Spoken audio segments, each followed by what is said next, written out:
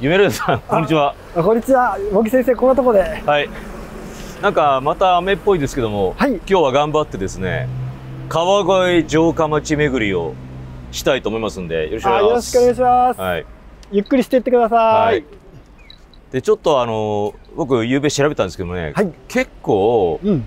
川越とうん夢ラジオさんお住まいのうん神奈川はいろんな結びつきがあることが分かりました。なんと、はいうん川越と相模が、そうですね。うんどういう結びつきなんでしょうか？まあ、おいおいお話ししますけれども。あはいうんまあ、とりあえず、うんこの方、あ、はい、誰でしょうか？大丈夫か？はいこれは、まあ、城作りの名人と言われてますよね。はい。太田道館さんですね。うん。道館が作ったのが、まあ、江戸城、はい。江戸城と、うん。これから行く川越城と、うんうんそれから岩槻城もそうそうですらしいです。ね。この三つですね。はい。はい。南関東をこう抑える城を作っていたということは太田道館の、うん。まあこの人はあの殿様じゃないので、はい。道館のその主君にあたる人が、はい。まあ、南関東だったわけですよね。はい。ですよね。うん。道館の時代ですから、だいたい15世紀ですね。1400何年、1440年とか。戦国の半ばぐらいですかね。まだまあ、前半。まあ、あの時代を、そう、前半で言った方がいいと思いますね。戦国期前半と言いましょうか。うん。だから、あの、15世紀の後半には京都で応仁の乱も起きちゃうので、まああの、まあ、戦国期の始まりぐらい思っておけばいいと、うんうんうんいいでしょうね。その時に、えっと、北関東を、えっと、治めていたのが山内上杉ですね。山の内上杉。はい。で、えっと、で、南関東を治めていたのが扇ヶ谷上杉という。扇の谷って書くんそうですすね。でよね。扇ヶ谷上杉。この、まあ、二つが、まあ、まあ、結構有名というか、親戚だけどライバルでいいんですか？で要するに文家ですよ。うんだからもともとは山之内の方が主家で、うんあの南の扇ヶ谷はあの諸子っていうんですか？あのけれどだんだんだんだん力をつけていったんですよね、あの山之内じゃなくてあの扇ヶ谷の方が、うん。うん。でその扇ヶ谷がなんで力をつけていけたかというとこの方太田道館。太田道館さんがいたからです。なるほど。うん。で、ぜひ今回、模擬セカチャンネルの皆さんに、えっと、知っていただきたいのは、さっき、あの、模擬先生が、あの、主君ではないんだよねっておっしゃってて、じゃあ何なんだと。うん。これね、火災という、火災。そう、そういう。家にはい。あの、最初の際ですね。うんうんうんうんえっ、と、なんて言ったらいいの？う、うかんむりに辛いって字？うんうん。火災という、そういう立場のお方で、うんまあ言えば家来筆頭みたいな、うんこういう、ああの、の、江戸時代の家老みたいなもんですか？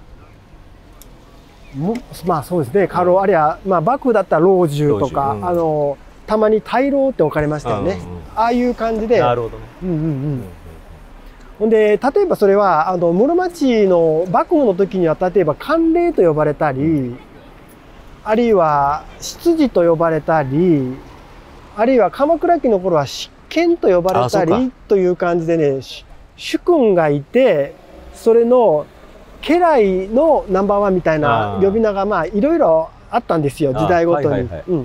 で、この上杉の2つのうちに関しては、えっと、火災というふうに呼んでたようですね。はいうんあの、世界史で言うとあれですね、フランク王国の、あの、カール・マルテルみたいなもんですね。あえフランク王国の。えーカールマルテルマユルマユルドムスってやつね。うんええまあ、ナンバー2がナンバー1の寝首かくっていうのはよくあることで。うんうんうん。えただしですね、あの、えっ、と、太田が南ですよねえ、はい。扇ヶ谷。はい。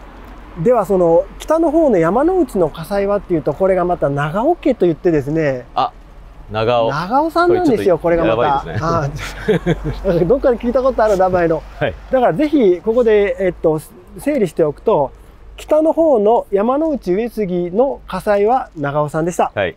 で、南の方の、えっと、扇ヶ谷の火災は太田さんでした。はいうんほんで、太田道館有名なんですけど、お父さんの太田道心というお方おらおられまして、はい実はこの道心っていうのも結構やり手だったんですよ。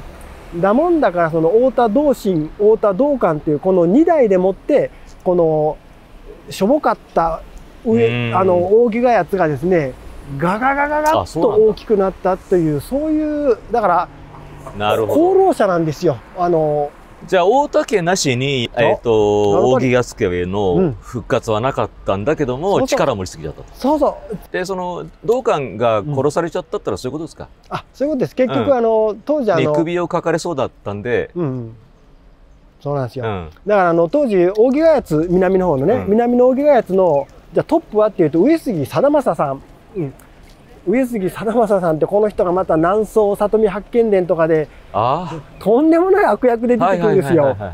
でその貞正さんがあトップでね扇ヶ谷の。それに火災として太田道館が支えてるわけですよ。はいはい、ところが、えっと、道館があのやっぱ戦が強かってですねあっちこっちで勝っちゃうわけなんです。しかも、じゃあ誰と戦ってるかというとですね、これがなんと、山之内の火災である長尾のお家の長尾影春という、なんかすごいお方がおりまして、はい、その長尾影春と、この太田道館さんがバシバシやってるわけですよ。あっちこっちで、うん、もうそれこそ、そっか。相模の小机ってとことか、あるいはその武蔵の豊島ってとことか、あと、埼玉のもうちょっと向こうにあの、八形ってあるんですけど、八形とか、ああいうとこでこの太田道館と長尾影春がバリバリやってるわけなんですよ。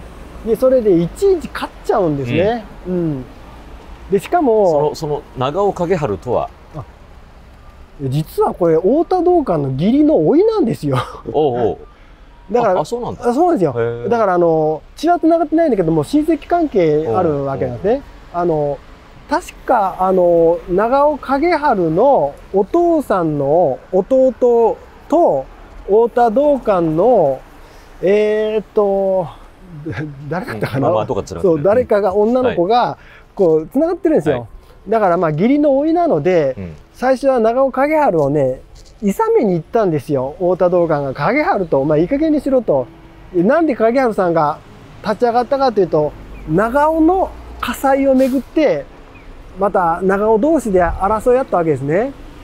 その長尾同士で争い合うもんだからやめろっていうふうに道館が言いに行ってすると影春さんが「道館殿」道館殿だって私がこのように立ち上がっていると扇ヶ谷上杉の力が大きくなるから嬉しいじゃないですかと。あの、ぜひ道館殿も私にお味方してください。このまま山之内を一緒に滅ぼしましょうよとか、なんかすごいこと言い出して、道館は当然そんなことを聞けるわけありませんから、これはもうダメだと。影春は説得できない。というわけで、まあぶつかることになったっていうことですね。いちいち勝っちゃった、道館さんが。で上杉大木がやつがどんどんこう所領が増えていったんですがそれ見て上杉貞政ですよね。やばいと。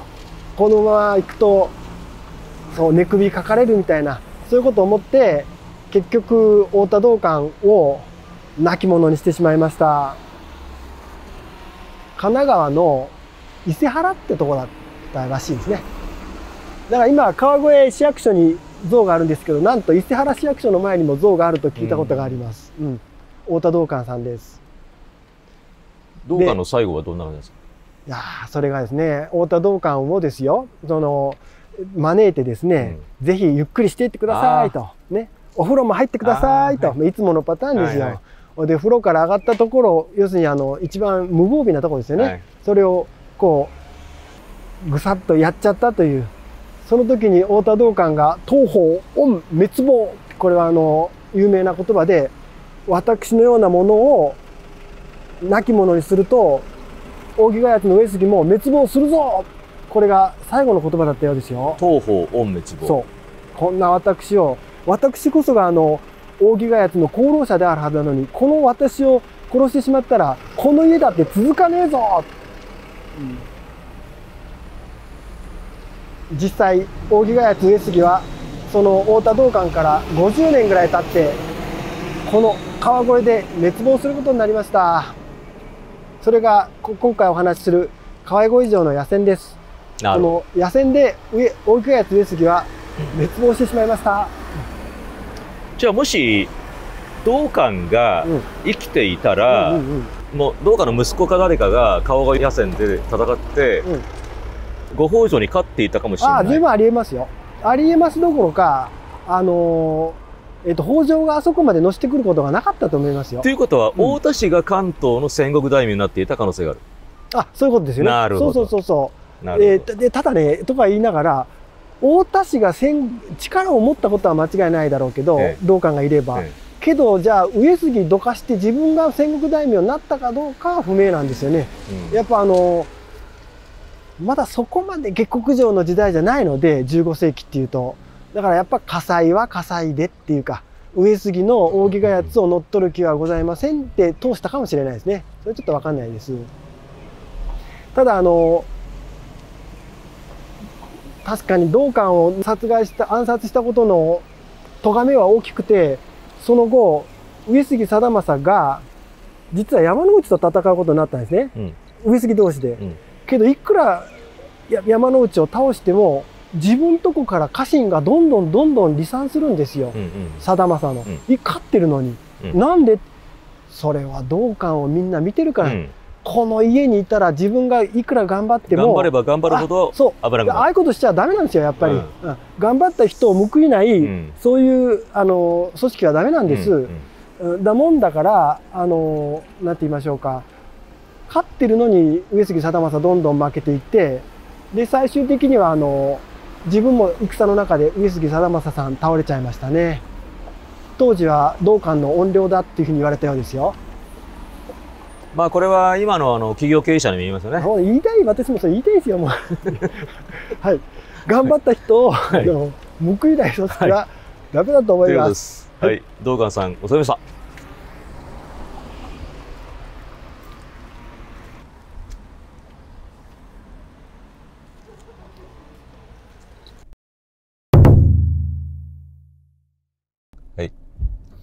えっ、と、今、川越の市役所の前に来てます。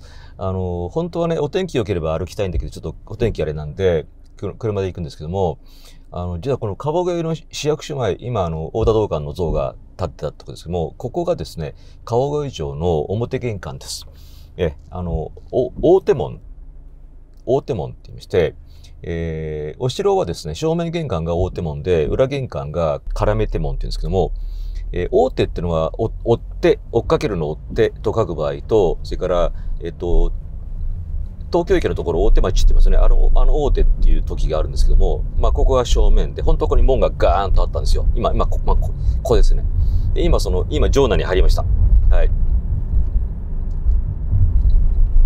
で、その城内は、こう、堀でいくつかにこう分けられていて、車って言ってね。で、その、車の中今通っていますということですね。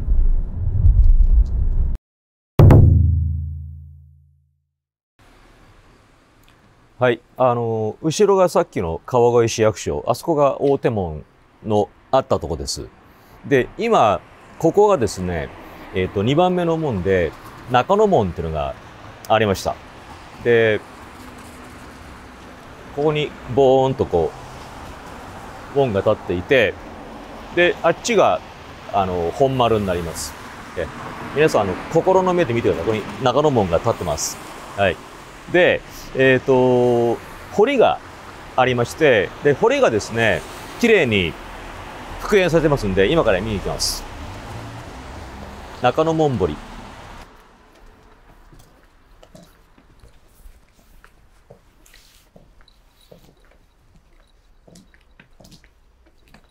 うん。なんかすごい仕組みになってますよ、これ。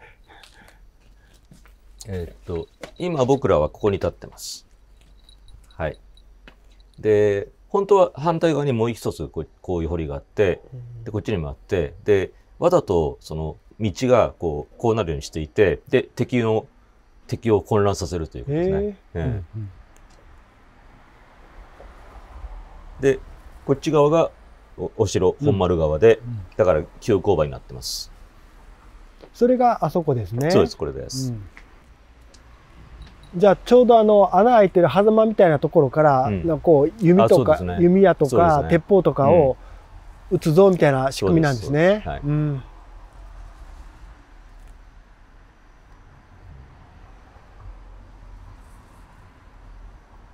で残念ながら、川川越城のお堀で残ってるのは これしかなくて、ああのーなんでなくなっちゃったかってあ、いうと、んん。戊辰戦争の時に、うん。なんと、ね。戊辰戦争、はい、来ますよね、うんうん。朝廷軍が。はい、うん、その時に、うん。あの、最後の川越藩主が、もうひたすらですね、頭下げて標準しますって言って、で、犯行の意思がありませんって言って全部埋めちゃったと堀を埋め埋て犯行の意思がないと。ないと。だからまあ、ああの、川越の町は焼かれずに済んだんですけどうんもまあだから今全然川越来ても、ど、え、どこお城ですかっていう感じになっちゃったよね。そうだね、だから堀もあればあこの中が堀お城かなってわかるけど、ここしかないわけですね。ねううんん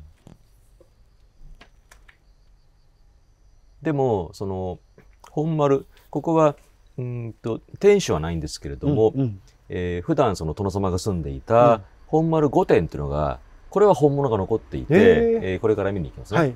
その御殿が残ってるって結構稀や言って聞いたん稀らですけど。しいですね。うんうんうんうんあじゃあ楽しみですね。うんはい。はい、よいしょ。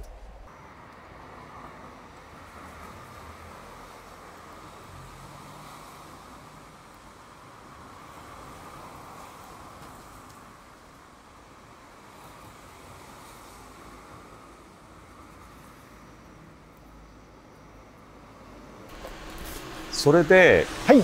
その扇ヶ谷がうん川越城を手放すことになったのが、はい。川越野戦ってやつですか？そうです。その通りです。でさっきの1546そうそうさっきの話より50年ぐらい後になりますね。はいうん。ちょっとその時の状況を教えてその時、はいあの北条というのがですね相模の方からこの武蔵の方へ出張ってきてたんですよ。小田原北条氏そうです。うん。その小田原北条初代が伊勢宗瑞と言いましょうか、北条早雲ですよね。北条早雲うん。そうの時はまだ伊豆にいたんですよねそうまだ伊豆にいた。はい。で小田原城にえっ、とす住むか住まないかみたいなところなんですよね。その二代目えっ、と北条氏綱この人がまたすごかった。はい。でこの氏綱の頃から北条を名乗り始め、はい。そして氏綱の頃からこの武蔵に出張ってき始めたっていう、そういうことですね。ということは扇ヶ谷とぶつかると、そうです、はい。その通りです。はい。うん。だからもともと最初はあの扇ヶ谷と北条って手を組んだりしてたこともあったんですけど、なものいつの間にか、えっと、手切れになりますからあの時代。うんうんうんで、えっと、最終的には南関東の覇権をめぐって扇ヶ谷2と北条ですね、うん氏綱が争うことになりました。うん。あのさっきチロッと出てきた、うん。あの里見はどういう感じなんですか？あ里見は、うん。あのあれやっぱ南宋なので阿波と言いましょうか、はい。はだからあの実は里見ともあの北条は戦うんです、うんこれあの河野大合戦って言います、ん。が、えー、とそれと今やってる川越城の野戦とはまたちょっと違う話ですね、うん。ただしあの北条がぐーっとのしてくるにつれて里見からしてもあのえっ、と里見からしてもやばいと。で上杉からしてもやばいと、うん。あるいはあの上総の方にマリアツ武田って言ったんですけどマリアツ武田うんマリアツ武田からしてもうん。やばいと。うん。だから北条は実は取り囲まれてたんですよねですよね。実は、うん。あのでそれでその取り囲まれた戦いの一番すごいのが川越城の野戦なんですよね、うん。でなんか、はい。それまで争っていた山内と扇安と、えー古賀久保が一緒にこうなんか手を組んでとりあえずうん。北条をど叩けってうん。きたんですよね。そうです。あの結局北条ってもともとは伊勢シンクロじゃないですか、うん。前話に出たように、伊勢なんですよ、うん。でそれがなぜかあの北条を勝手に名乗り始めて、そしてあのかまあ、関東の覇者は我々であるって言い始めたわけですよ。うんでそうすると当然上杉からしたらなんやそれとなりますよね。うんあと上杉の上にいる古賀久保からしても何言うてんねんという感じになりますよね。ですからこの古賀久保山之内上杉これは全部一旦固まってで一丁あの北条やっつけたのかっていうのが川越城や川越野戦なんですね。良い草上杉は一応、はいあのー関東関連という、あれ、室町幕府のちゃんとした役職じゃないですか。そうですその通りです。で、古賀久保は、まあ、一応、一応久保だから、はいそうです。まあ、将軍代理みたいな立場じゃないですそうですそか。の通りです。で、ご北条ってなんかその、なんですか、その、か官職っていうのは。なんもないですよ。なんもないんだ。うん、ただそれが欲しくてごご北条もその、はいはい。自分たちこそ上杉に代わる、うんあのなんていうかあの補佐する立場なんだ。将軍は確かに名乗らない、北条はあの、うん。鎌倉の頃から北条は将軍は絶対目指さないじゃないですか、うん鎌倉の頃も執権で止まってて、うん。将軍は他から連れてきてたように、北条もご北条も将軍は絶対狙わないんだけど、うん。つまり久保になりたいとは言わないんだけど、けれど自分たちもうん。久保を補佐する、まあ、ナンバー2、うん。それをなりたいわけですよね。関連狙っていったんですか？まあそういうことですね結局。だからうん。上杉からしたらさあの自分たちこそ慣例なのに、ね。あれ？っ ていつの間にかどこかからフラッと来た北条がですね自分たちの関東関連の立場をそれは団結しますよ。あんないくら仲悪くても。大体さ、なんで北条名乗ってんのって話で。あそういろいろ説があって、え。あの全くもってあの、えっと理由がないっていう説とか、うんうん。あるいはあの北条氏綱あたりのなんかあのお嫁さんが、うん実はかつての鎌倉の北条のうん。血を引くものだから とかあのでもそんなこといくらでも言える じゃないですか。だかえらやっぱりあの北条を名乗ったのは、うんあのまあ恣意的なんですえよね。うんだからね上杉の方からは北条って言わなかったんですよ。あのうん伊勢のやつらはっていうふうになぜかというと北条は鎌倉の。かつての執権殿だけど、うんあいつらは北条を名乗ってても関係ないじゃないかと、あいつらは北条と呼ぶのやめろと。じゃあ、うん。その、鎌倉うのん。執権北条氏の末裔ってのは分かんなくなってんだ。そう分からなくなってるんですよ。しかもいっぱいいるじゃないですかどうせ、はいはいはいはい。だからそのうちの末裔の娘の一人と結婚したぐらい言えそうじゃないですか、はいはいはい。なんか。そうなんだ。あと、ほら、なんか、朝廷からもらう、はい。なんとかの神とかっていうのはあるんですか？あある。ご北条は。あでもねほご北条は、うん。朝廷からもらったのは確か相模の神と、うん。武蔵の神を後にもらって、うん。っていうそれぐらいだと思いますよ。だうん。だからあの朝廷の位はものすごく低いと思う。とか大臣はないんだ。ないないない。あのえないどころがあの15位ぐらいじゃないですか。あ、そうなんだ。多分。へえ。